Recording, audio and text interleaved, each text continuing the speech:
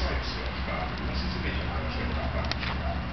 Sie erhielten den Bericht der Sterbenflotte mit meinen Einstellungsvorschlägen mit Briefgabe. Sie haben sie so genau wie möglich in den Computer eingegeben und danach einen Probelauf durchgeführt. Dann ist zu dem großen Stand. Was passiert? Darauf entsorgen Sie sich.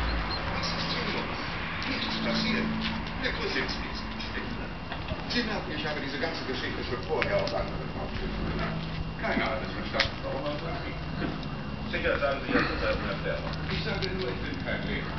Ich habe keine Lust daran zu gehen. Ich habe weder Interesse daran.